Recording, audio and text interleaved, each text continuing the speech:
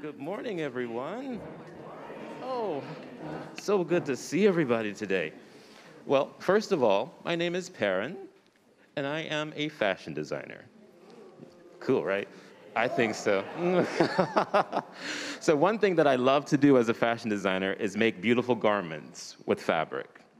In fact, Dr. King once said that we are all connected in a single garment of destiny.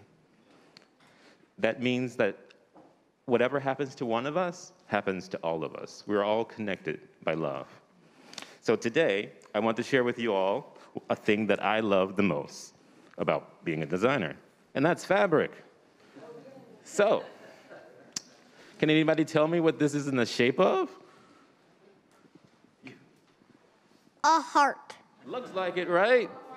So, what does the symbol of a heart stand for? Love. Love, you got it. I like your mask, by the way. I can see your face. Oh, that's a cool design.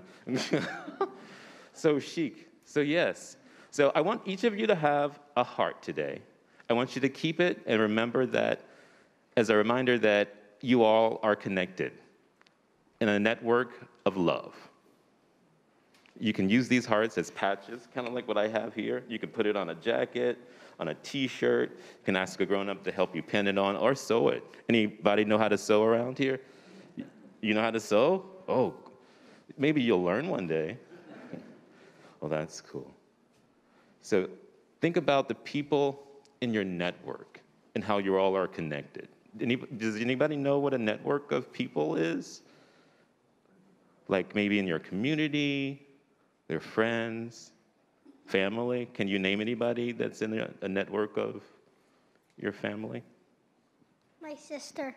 Absolutely right. That's right. Absolutely. I, I like to think of my mom in my network. Oh, go ahead. Um, my mom and dad. Oh, fantastic. That's a wonderful network. Oh, My grandma. oh, I love that one too. Oh, yes. So use these hearts as a reminder to connect with all the people in your network because we are all connected by love. Okay? Does everybody have a heart? I hope I didn't run out. We're all good? Wonderful. Let's siyahamba to our chairs.